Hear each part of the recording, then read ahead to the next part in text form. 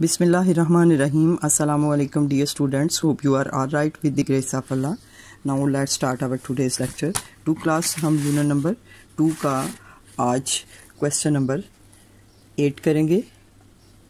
Explain the coastal areas of Pakistan के पाकिस्तान के साहली इलाकों को हमने उनकी वजाहत करनी है. पेज नंबर ट्वेल्व पे है.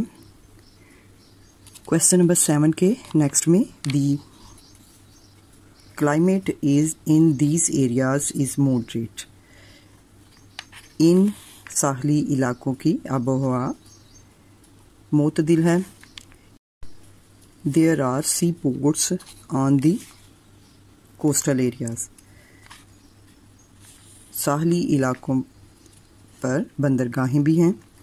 तो आज के लिए आपका इतना ही। इसको टू पार्ट्स में हम डिवाइड करेंगे। ये थोड़ा सा लॉन्ग है।